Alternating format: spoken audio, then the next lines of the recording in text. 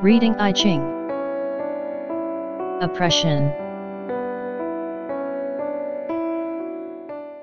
Change of lines.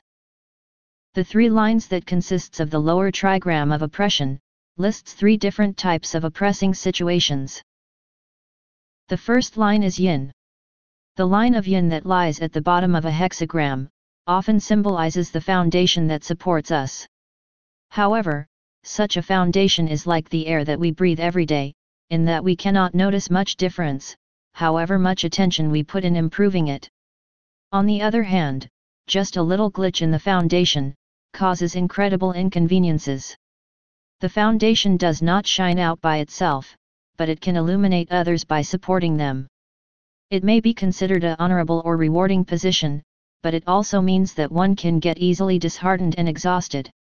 When you are in such a position, you probably need to buckle up yourself, and try to discover the value within yourself, instead of from other people's appreciations. The second line is Yang. The line of Yang located at the center of the lower hexagram, symbolizes our actions. However, the actions we take do not always produce immediate results. In addition, the result does not always turn out to be the same as what we expected. In some cases, you may be able to find out the effect of your action, only after you repeated the same action for a long time, or in some other cases, you may end up getting unexpected side effect. When things do not unfold as we wish, should we give up, or should we change methods, or should we keep trying? It depends on our choices. The third line is yin. It is a line that represents a position where we take one step further.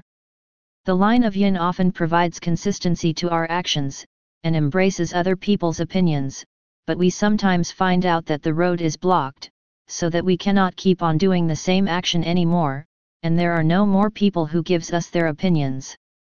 Even if we want to take a step forward, there is no more floor stretching further. We cannot simply move forward alone. We probably need to wait for others to catch up with us. Now we go up to the upper trigram.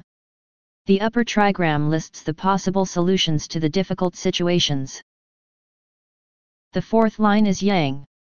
As was explained in the first line, however hard we may try to change the foundation, people cannot easily perceive the difference, and we may end up getting disheartened. However, it is the nature of the foundation that it plays a crucial role, although it does not shine by itself. Too much change in foundation results in confusion and chaos, but no change in foundation also results in gradual extinction as well.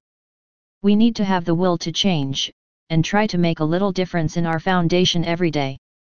When a long time has passed, we may look back on our trail and find out that we have moved farther away, from where we started before.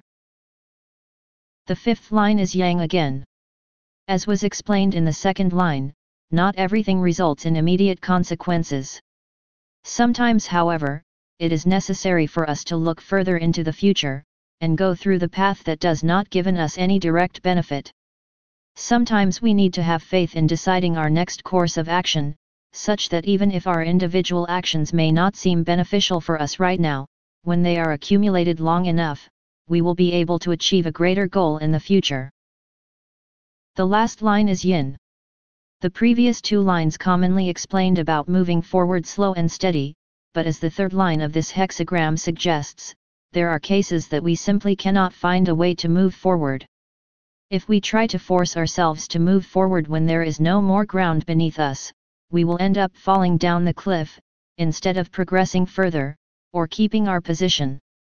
How about pausing for a moment, and look back on our own paths? We probably need to ensure that we are on the right track. If we are not, we will get further from the truth as we move along. We need to track back to our starting position, and find the right direction to go.